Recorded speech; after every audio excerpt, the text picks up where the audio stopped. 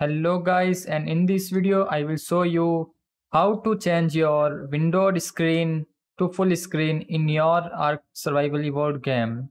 Because many times when we are trying to start the game the screen is went into the windowed format.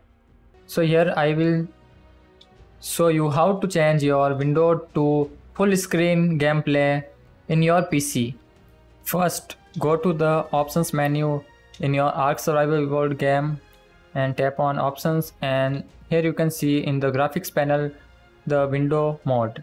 You can see your now windowed mode is enabled so change it to full screen mode and apply the changes and press save. You can see here now the taskbar is gone and I can see the full screen mode here my game is now running in full screen and you can change it to windowed and apply to save.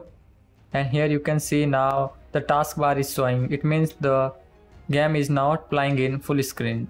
So this is the difference between full screen and windowed game. So i would recommend you to change the full screen because whenever you use your full screen game you will never disturb in your game while notifications and other things in your pc so guys hope this video is very helpful for you and you can apply these changes in your other game also.